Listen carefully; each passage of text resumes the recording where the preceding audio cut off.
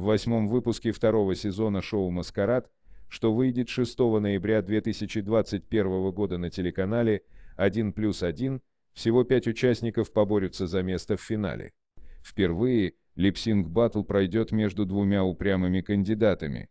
Марией Ефросиноной, выступившей в образе Юлии Саниной, против Игоря Ласточкина, пытающегося обыграть всех.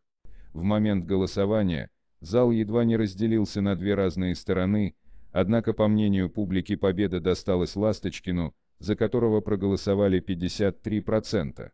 После состязаний романтических историй подымать костюмы пришлось Ронину, кем оказался Артем Пивоваров, что шокировало всю публику.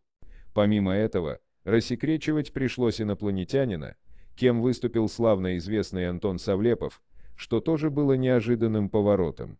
Игра показывает, что счет переходит в пользу Игоря, где его команда побеждает на 10 очков. В следующем противостоянии сойдутся Щелкунчик, Лялька, Нептун, Пан и Капелюшкин. Чем закончится история, смотрите в восьмом выпуске второго сезона шоу «Маскарад», что выйдет 6 ноября 2021 года на телеканале 1 плюс 1.